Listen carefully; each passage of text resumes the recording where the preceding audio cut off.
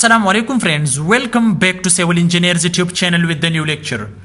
Dear friends, today in this video lecture I am going to discuss about column reinforcement details. Of course, it's very important for every civil engineer student. So this is the column top view and this is the X section means cross section for this top view. This is the cross section for column and I will discuss column reinforcement in detail. So if this video is helpful for you, so must like this video or if you are new on this channel, so must subscribe this channel with press bell icon. Bell icon is near with subscribe button with the red subscribe button. If you press it, then you will get notification about any video or if you subscribed this channel and you don't get notification, so you also press bell icon then you will get notification about any video. Let's get started but must like this video as this video is helpful for you. So this is top view and this is cross section for this column.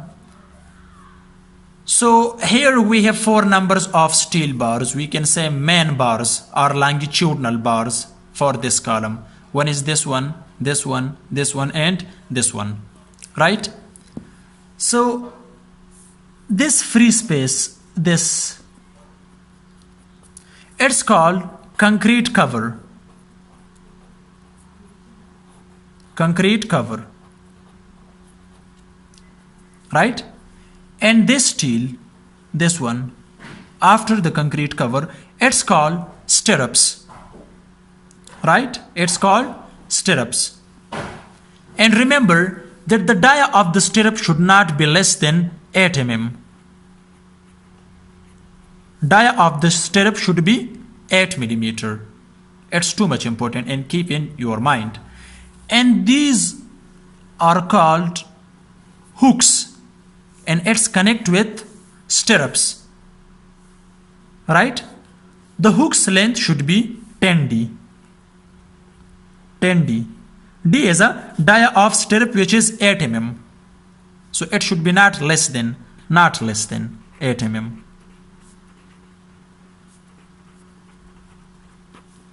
Right?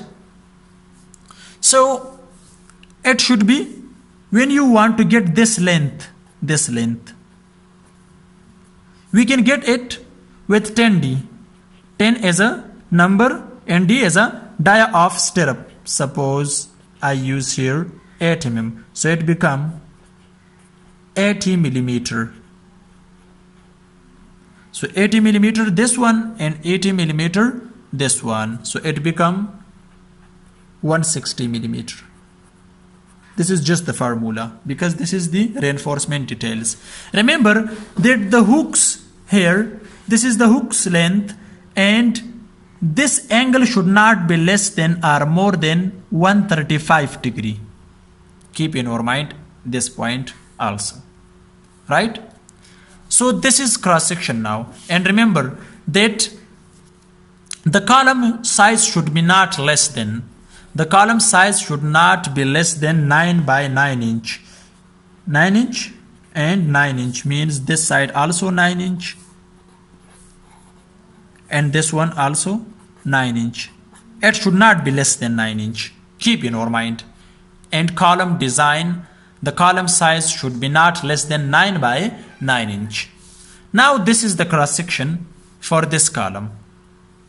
So already this is the concrete cover which I have already discussed this side also concrete cover this one okay?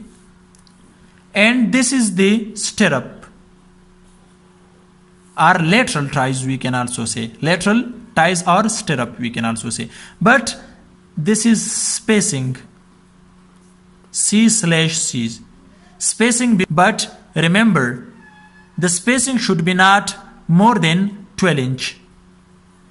1 feet is okay for column design. Sometime uh, if there is not more load so we can use also 14 inches right? And this is called also I say in top view this is longitudinal bars and also we can say main bars. So these are called main bars. Red color this one it's called main bars right so this is the height of the column.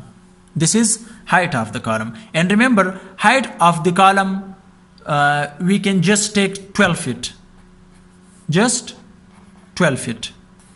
Remember if you increase the height of the column more than 12 feet or something other then we should increase the size of column. And also we will use more amount of reinforcement. The steel reinforcement should be increased when we increase the height of the column. Because if the column height is more or increase from 12 feet and load is more that time it's making buckling. Suppose this is column. It will become same like this. If the load is more so it will become like this. So it's called buckling. Okay?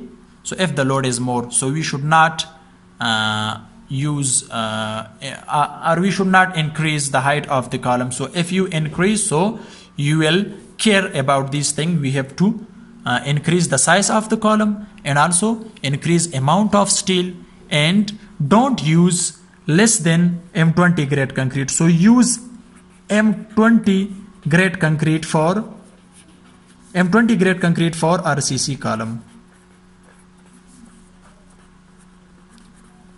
Okay.